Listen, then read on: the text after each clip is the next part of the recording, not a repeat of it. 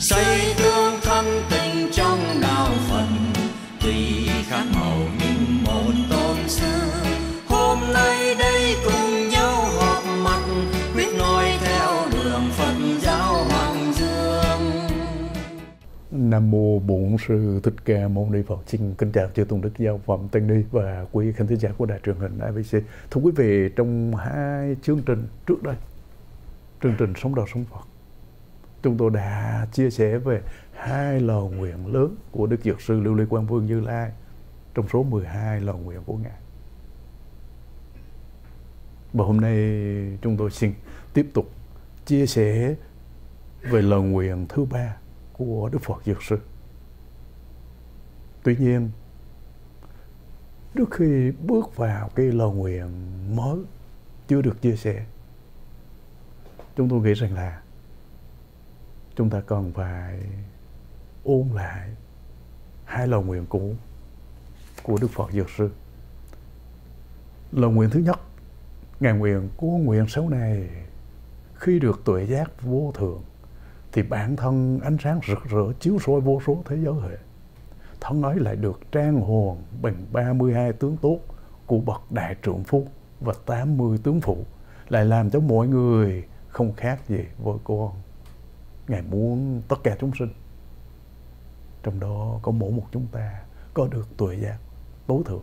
Và chỉ khi nào chúng ta có được tuệ, tuệ giác tối thượng thì chúng ta mới chấm dứt hoàn toàn khổ đau. Những gì mà chúng ta ước nguyện sẽ biến thành hiện thực.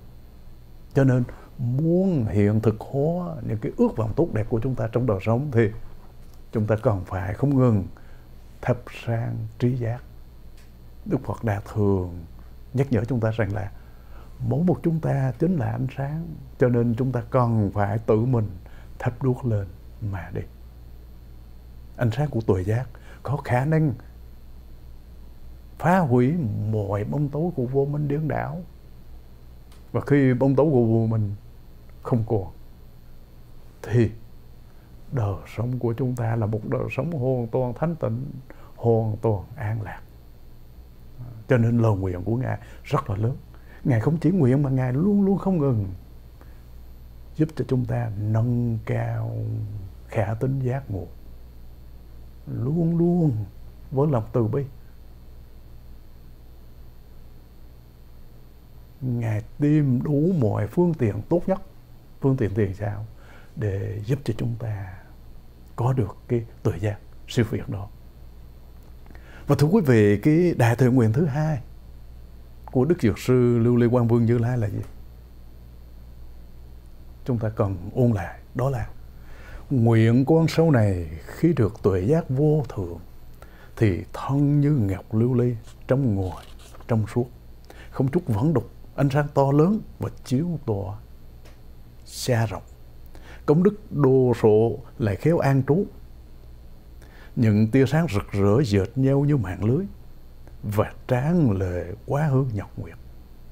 Chúng sinh tối tâm được soi sáng cả, nên tùy ý hướng mà làm mọi sự nghiệp.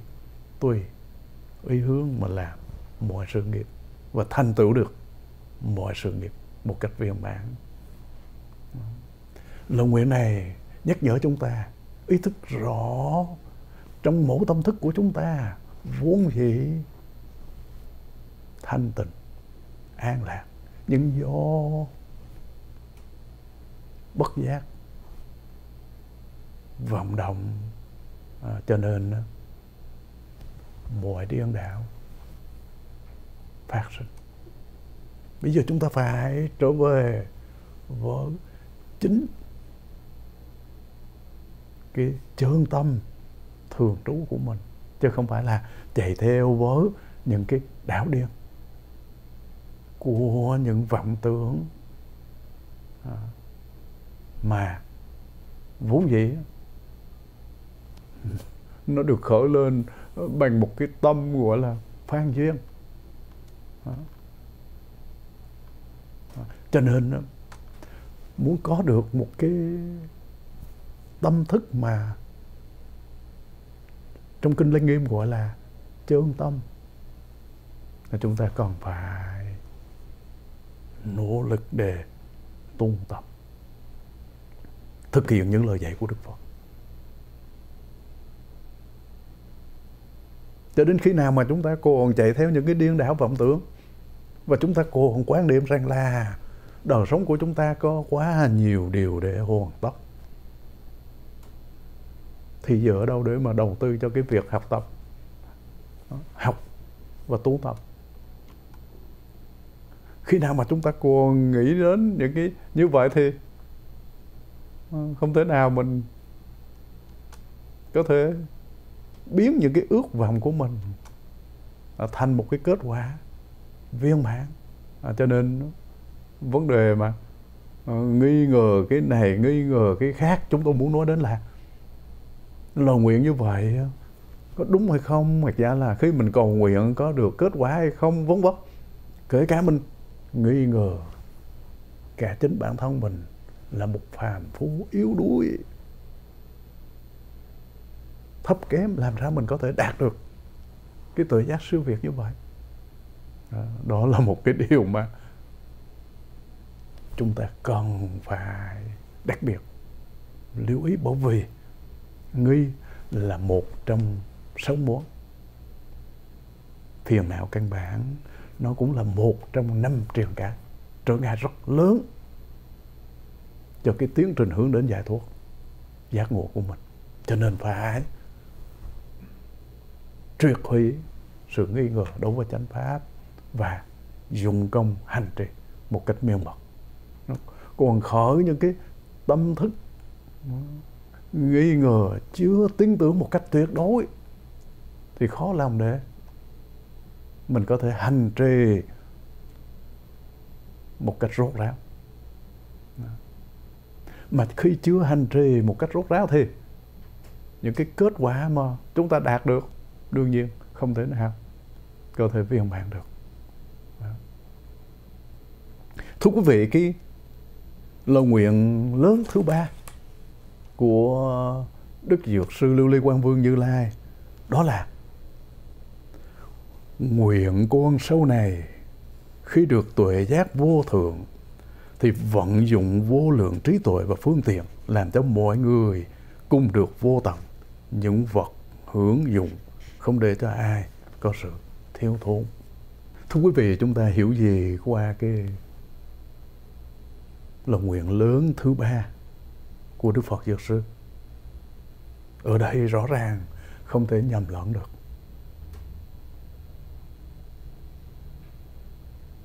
Đó là khi mà Ngài thành Phật rồi, thì Ngài vận dụng vô lượng trí tuệ và phương tiện. Mục đích là làm cho mọi người đều có được vô tận những vật hưởng dụng và không để cho bất cứ ai bị thiếu thốn.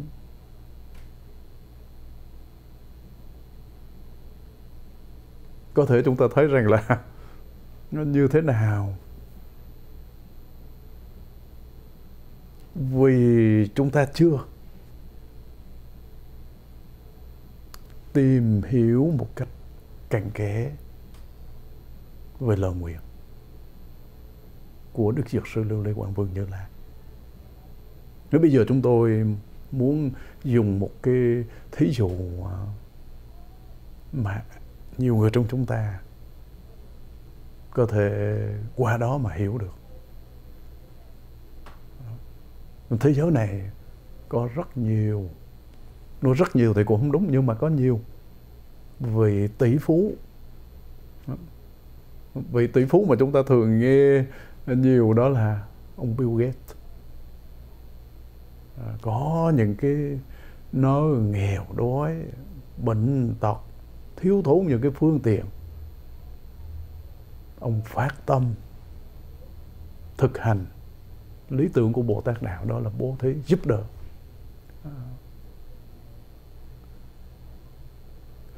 Một người tỷ phú thôi, chứ không phải là một đức phật. Mà cái hạnh nguyện đã vô cùng lớn lao. Cứ lấy một cái thí dụ khác khi mà cái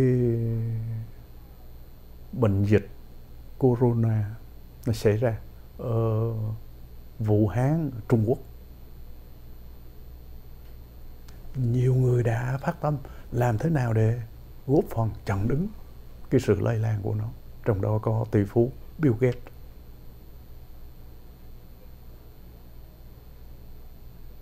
Và trong đó có chính quý vị nữa. Quý vị đang theo dõi chương trình Sống Đời Sống Phật trên đài truyền hình ABC. Cũng mơ ước làm thế nào mình có thể góp phần vào cái việc chấm dứt sự lây lan của những con virus có tên là corona. Và đương nhiên là khi thấy một cái người homeless, thấy một cái cuộc động đất nào đó xảy ra ở nơi này hay ở nơi khác? Thật ra là thấy một cái tai nạn mà kết quả có nhiều người bị tước đi. Sự sống vô cùng quý báu. Quý vị mơ ước làm sao để có thể chấm dứt những cái tình trạng tương tự như là chiến tranh, vân vân.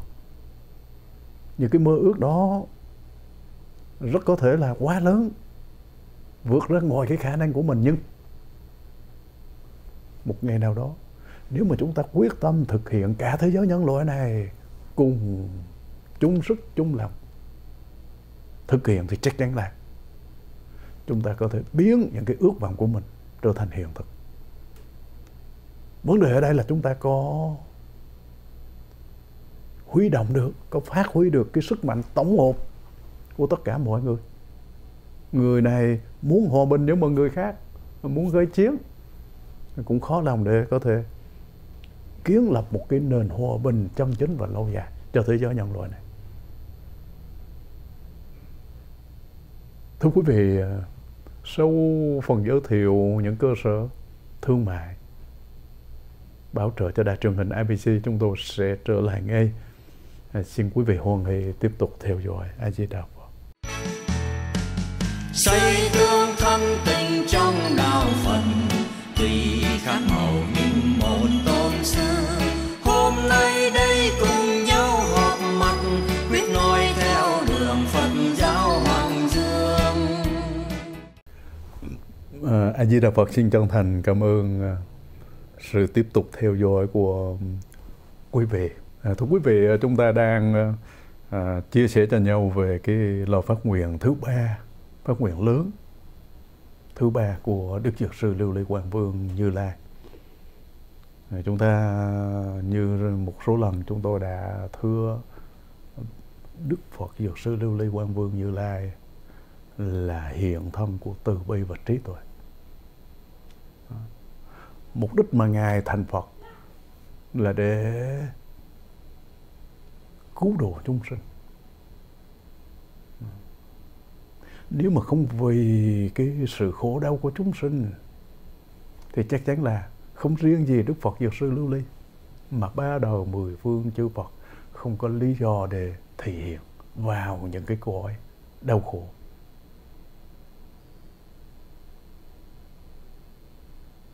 Chúng ta tụng danh hiệu của Ngài, hay chả là tụng kính dược sư hay là sám dược sư, vân vân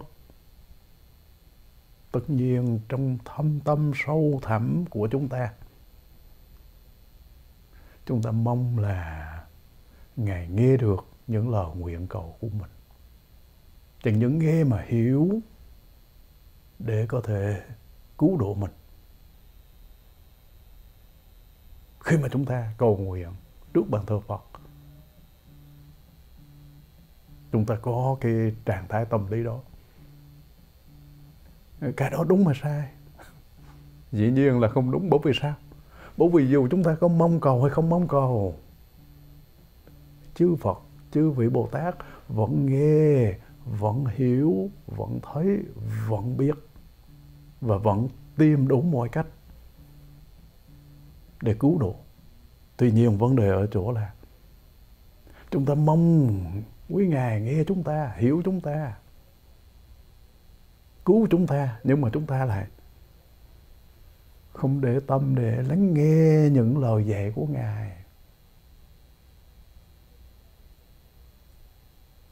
chẳng những không lắng nghe mà không có tìm hiểu một cách rốt ráo về những lời dạy của chư Phật, chư Đại Bồ Tát. Đặc biệt là không thực hành những gì mà chư Phật vì lòng từ bi đã chỉ dạy, đã hướng dẫn để giúp cho chúng ta chấm dứt hồn tù, khổ đau, lo lắng.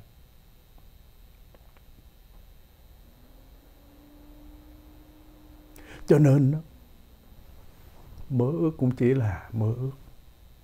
Dĩ nhiên khi mà tụng kinh niệm Phật lễ Phật chúng ta có được cái sự an lạc cần có nhưng mà cái kết quả mà chúng tôi thường thưa là hoàn toàn viên mãn, nó còn tùy thuộc vào cái sự hành trì của chúng ta.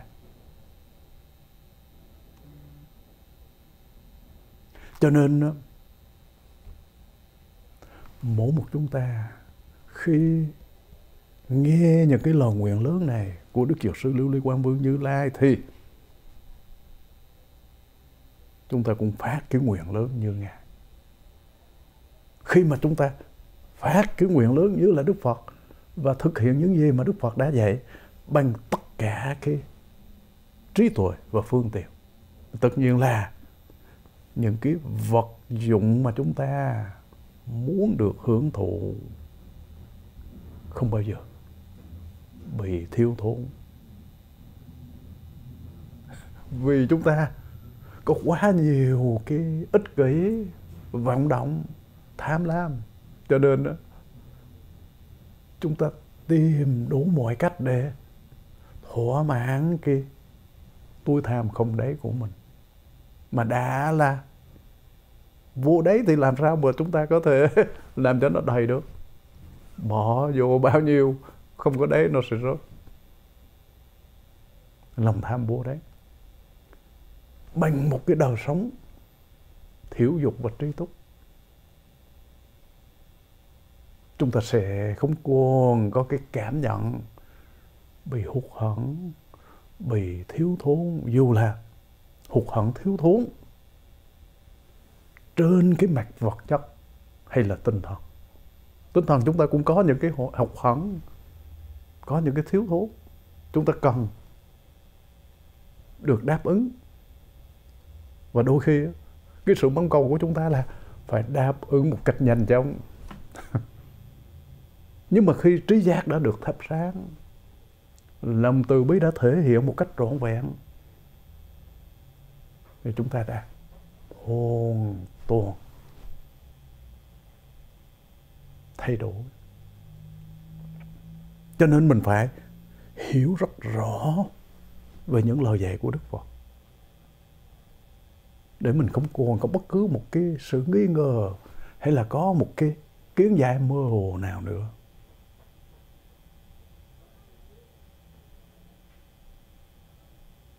Biết bao nhiêu người trong chúng ta đã đọc về cái lịch sử của Đức Phật Thích Ca Mâu Ni.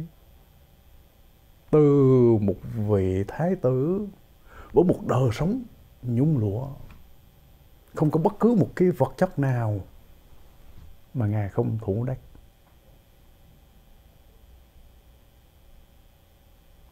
Nhưng chúng ta thấy gì?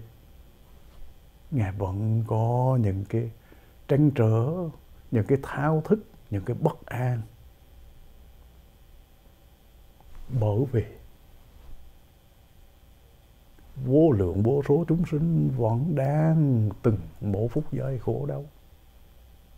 Bản thân của ngài cũng vậy vua cha của ngài cũng thế. Khi mà chứng kiến cái cảnh tranh đoạt lẫn nhau để giành cái quyền sống, thì đó là một cái thảm cảnh mà nếu không ý thức được cái giá trị của sự sống như thế nào, thì không bao giờ có thể phát tâm bảo vệ và tôn trọng sự sống.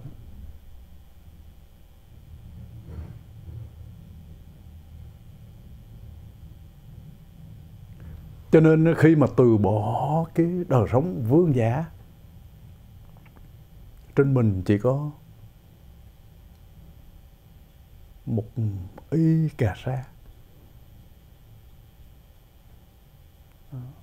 Họ dùng những cái thức ăn rất là đạm bạc ngày một bữa. Ăn để sống chứ không phải sống để ăn. Ngài không bao giờ cảm thấy thiếu thốn, nhất là khi đã đạt đại giác thì không có bất cứ một cái gì làm cho ngài bất an. Không có bất cứ một cái gì được gọi là thiếu thốn dù đó. Là sự thiếu thốn của vật chất hay là tinh thần. Nếu chúng ta cũng đạt được cái tuệ giác xứ việc cũng vận dụng vô lượng trí tuệ và phương tiện để không phải chỉ đáp ứng cho những cái nhu cầu, đôi khi không còn là nhu cầu mà chỉ là những cái tham vọng, những cái thèm khác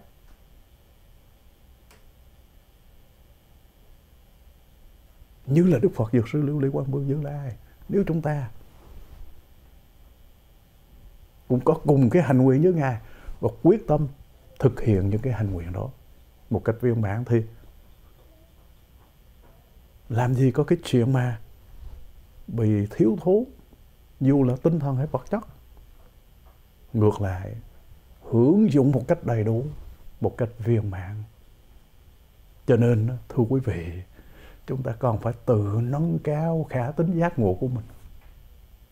Còn phải không ngừng thắp sáng tuệ giác siêu việt. Để một ngày nào đó, ngay trong đời sống này, mình chứng thành Phật quả. Tức là thành tựu được quả vị vô thượng chánh đẳng chánh giác thì không có một cái ước muốn nào mà mình không có thành tựu. À, không biết nó thành một cái gì rất là hiện thực rất là cụ thể. Cho nên cái lời phát nguyện lớn thứ ba của Đức Phật Dược Sư Lưu Ly đó là sử dụng những cái phương tiện. Mà ở đây thì những cái phương tiện của cái nền văn minh hiện đại này nó không thiếu. À, nhưng mà nó thiếu cái gì? Thiếu trí tuệ và lòng từ bi. Chứ không phải là thiếu cái sự thông minh. Chúng ta nên hiểu sự thông minh là cái gì? Chúng ta vay mượn từ ở bên ngoài. Nó là sản phẩm của trí này nó hoàn toàn khác với trí tuệ. Có trí tuệ là có từ bi. Có từ bi là có trí tuệ. Trí tuệ và từ bi luôn luôn đồng hành. Không thể người có trí tuệ siêu việt mà không có từ bi. Viên mãn hãy ngược lại người có từ bi, vô lượng, mà lại không có trí tuệ. Điều đó không bao giờ xảy ra. Chỉ có những ai có trí tuệ siêu việt, người đó mới có lòng từ bi, vô lượng. Còn sự thông minh vẫn còn có những cái ích kỷ vẫn còn có.